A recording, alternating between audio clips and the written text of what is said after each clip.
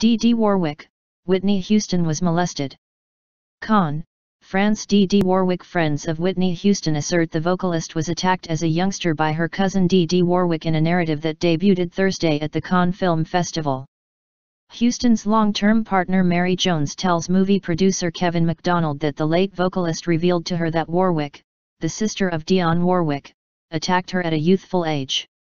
Houston's sibling Gary Garland Houston likewise says he was attacked between the ages of 7 and 9 by a female relative, and says his sister was mishandled as well.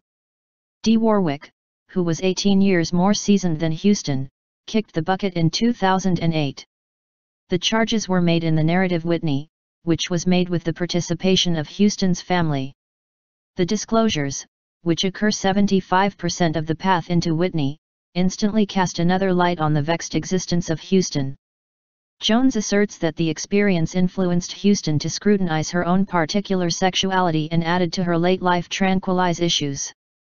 The artist passed on at 48 years old in 2012 from what was ruled an unplanned suffocating in a bath. A coroner's report into her passing referred to coronary illness and medication use as contributing elements. She never talked freely about her own particular claimed mishandle. We generally needed our film to be a remedial to that newspaper story, said maker Simon Chinn. These are particular disclosures that I think will get individuals to a more profound comprehension of Whitney's identity and from numerous points of view reclaim her as a man. Dee Warwick was the niece of Houston's mom, Cissy Houston. The Warwick sisters now and again sang in Cissy Houston's gospel gathering, the Drinkard Singers.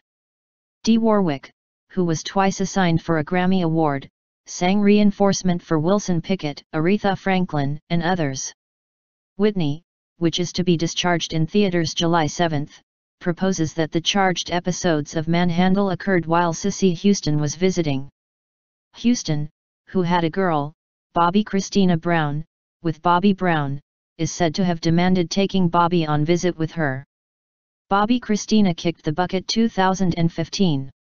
She was discovered lethargic in a bath and passed on subsequent to being in a state of extreme lethargy for a half year.